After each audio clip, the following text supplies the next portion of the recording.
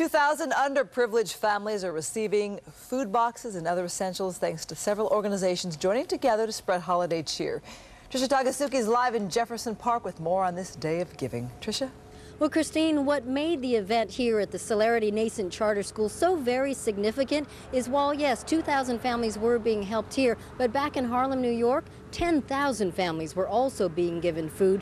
That made this the largest single day food distribution in U.S. history.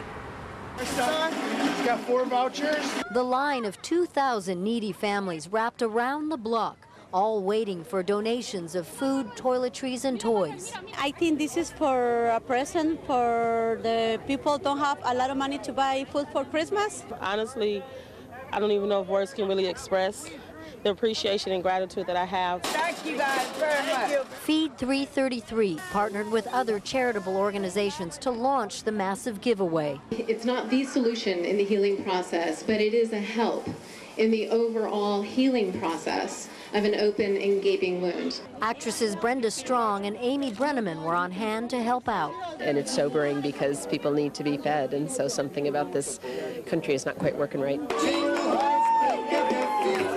Kids from the community got involved as well by providing entertainment and volunteering. Others got a chance to visit with Santa. Santa coming next week. And families walked away with their arms full of essential supplies. To us, uh, the most important thing is that they give us food. We don't ask for much more. This is wonderful. It's a wonderful experience. Toys, water, it, it'll make a big difference for them for Christmas.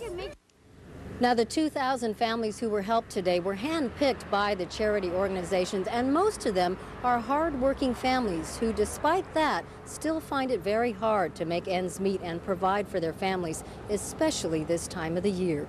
Live in Jefferson Park, I'm Trisha Takasugi, Fox 11 News.